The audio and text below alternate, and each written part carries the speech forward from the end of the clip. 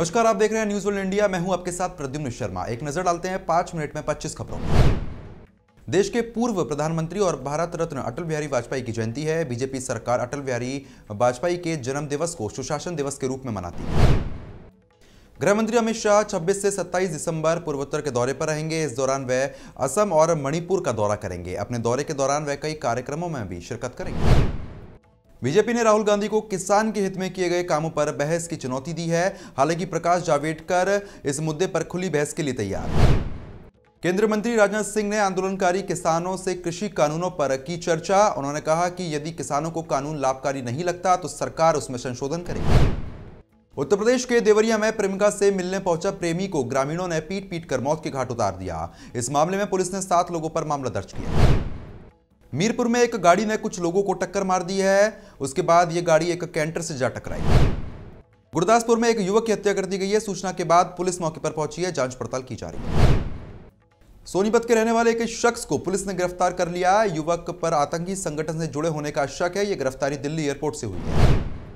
और वहीं आगरा के थाना इतमाद दौला क्षेत्र में बुज़ुर्ग महिला की हत्या कर दी गई। महिला का शव घर के अंदर मिला। सूचना पाकर थाना पुलिस मौके पर पहुँच गई है। छानबीन के बाद शव को पोस्टमार्टम के लिए भेजा।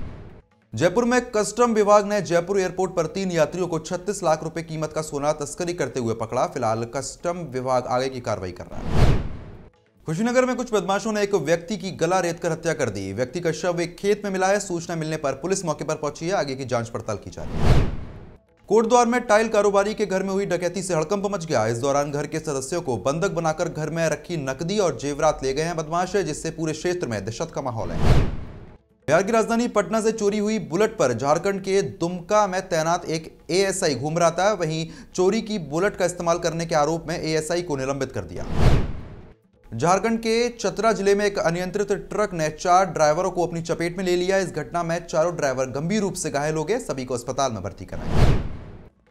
मैनपुरी में बदमाशों ने बड़ी वारदात को अंजाम दिया है। बहस चोरी का विरोध करने पर बदमाशों ने किसान को ही गोली मार दी है और हत्या कर दी। इसके बाद फरार हो गए वारदात से गाँव में सनसनी फैली हुई है।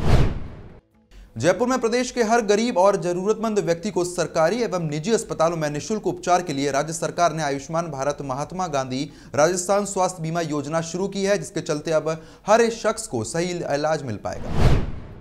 भारत में भले ही कोरोना के मामले में गिरावट देखी गई हो, लेकिन कोरोना का खतरा अभी भी लगातार बना हुआ है। पिछले 24 घंटे में भारत में कोरोना के तेईस नए मामले सामने आए दिल्ली में कोरोना वायरस का कहर लगातार जारी है। 24 घंटे में दिल्ली में कोरोना के करीब हज़ार से अधिक मामले सामने आए हैं। फ़िलहाल संक्रमितों की कुल संख्या छह लाख बीस हज़ार से अधिक हो गई।